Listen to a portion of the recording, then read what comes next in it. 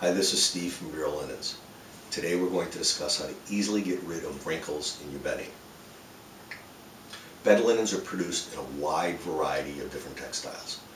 We see them produced from satin, not sateen, but satin, which is a synthetic polyester fiber. We don't like that sheet uh, in any regard. The satin itself has a tendency of pilling, snagging, and it doesn't breathe very well, which means it'll feel clammy and sticky next to your skin. Silk is also produced into bed linens.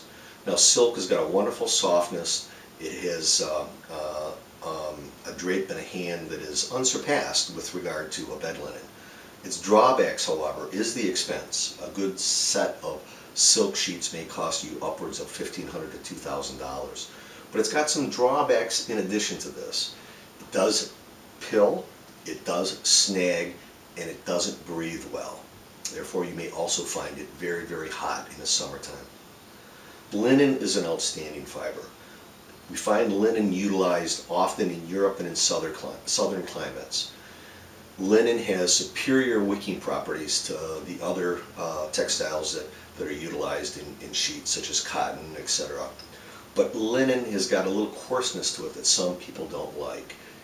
It, uh, in addition to that, it does um, have a tendency of wrinkling more than other fibers.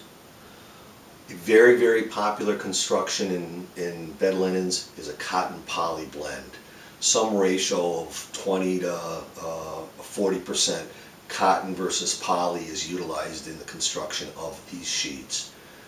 The uh, thing that people find desirable about a cotton poly sheet is the fact that it doesn't wrinkle as much as say a cotton sheet. The drawbacks, however, of the cotton poly uh, bed linen is the fact that it doesn't have the same hand softness or drape uh, that say a, a cotton sheet might have. In addition to that, it doesn't breathe or have the same wicking properties or qualities that a cotton sheet has. Now without question, the most popular textile that is utilized in the construction of sheets is 100% cotton. Cotton comes in a wide variety of different qualities and price points. We're not going to discuss those here today, but the reality is a cotton sheet feels wonderful next to the skin. It does have superior wicking properties and overall it's, it, is, it is just the, the textile of choice when looking for bed linens. The reason that people utilize cotton in their undergarments is because of those ability, because of its ability to draw moisture away from you. You feel cool in the summer and warm in the winter. But irrespective of that, the problem associated with cotton is that it does wrinkle. Now, ideally, the best way to uh, take care of the wrinkle is to iron now, a lot of people are not prone or interested necessarily in ironing their sheets uh, every week after they come out of the laundry. Uh, that's understandable. There are some options, however. One thing you might consider is having them uh, professionally laundered. Now, most in, in most urban settings, you will find that there are cleaning services that will launder and press your sheets. This is a wonderful way to have your bed linens cleaned and pressed. Typically for 15 to uh, $20, you can have a complete set of sheets laundered, pressed, delivered to your house, and ready to put on the bed. For those that don't want to uh, take that step, we've got a couple of other tips here that you might find useful in mitigating the amount of wrinkle that you get in your bed linens. First of all, when you're laundering your bed linens, only place one set of linens in the wash machine then put those in the dryer. Now, what you don't want to do is apply too much heat to the sheet. And uh, you want to use a medium temperature as opposed to a high temperature. You don't want your bed linen sitting in the dryer after the dryer has shut off. You will only build up more wrinkles. What you really want to do is pull those sheets out just before they're totally dry, just damp to the touch. Take those sheets then to a folding table and you can hand press all of the wrinkles out of the bed linen itself. Um, in addition, you might be able to put them right on the bed and hand press them right on the bed and you're ready to go.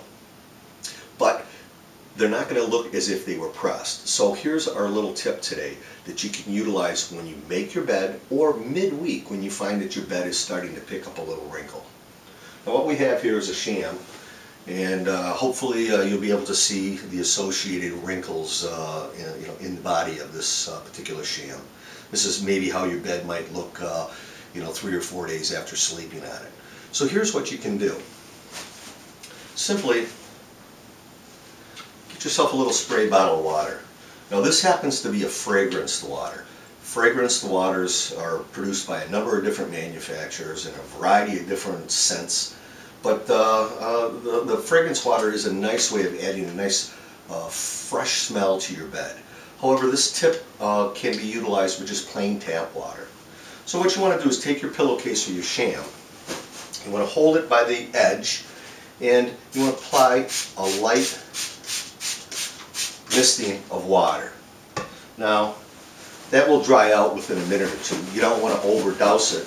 But uh, what gets rid of the wrinkle is the water combined with tension. So what you want to do is put a little tension on it. So simply shake that sham or that pillowcase a little bit and you will find that all of your wrinkles have, uh, uh, come off of your pillowcase.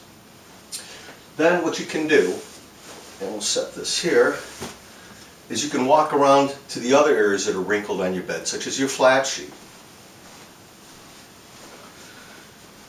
Simply grab the corner of your flat sheet, and again, apply a little tension, so you want it to be a little taut. And then a couple light spritzes of water around to the other side.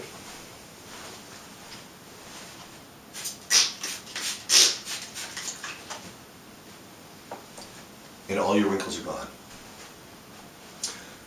Well, we hope uh, you enjoyed this video and uh, thank you for taking the time to, uh, to, uh, to watch it. Please feel free to give us a call at Vero Linens with any of your bedding related questions. Either send us an email or give us a telephone call. We're happy to answer those questions, even if it's for a product that we don't produce. Again, thank you very much for your time.